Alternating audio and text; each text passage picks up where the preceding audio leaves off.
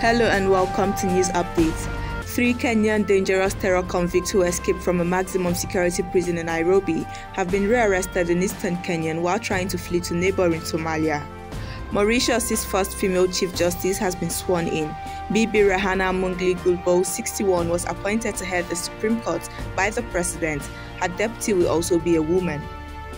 Olusegun Obasanjo, the Africa Union's High Representative for the Horn of Africa, and Jeffrey Feltman, the U.S. Special Envoy for the Horn of Africa, both returned to Ethiopia on Thursday to try to revive peace talks and bring about a ceasefire in the country's year-long conflict.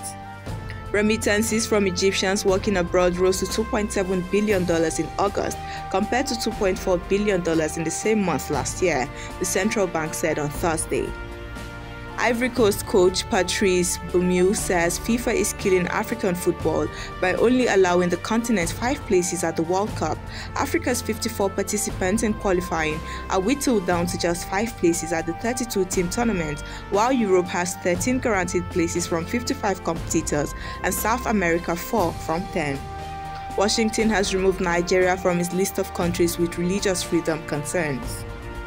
Three civil society groups have taken the South African government to court over plan to build 1,500 megawatts of new coal capacity.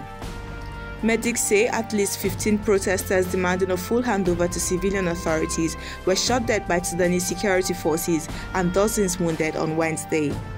Gambian President Adama Barrow on Tuesday night threatened an opponent in next month's elections with legal action for playing audio recordings of exiled former leader Yahya Jammeh at a campaign event.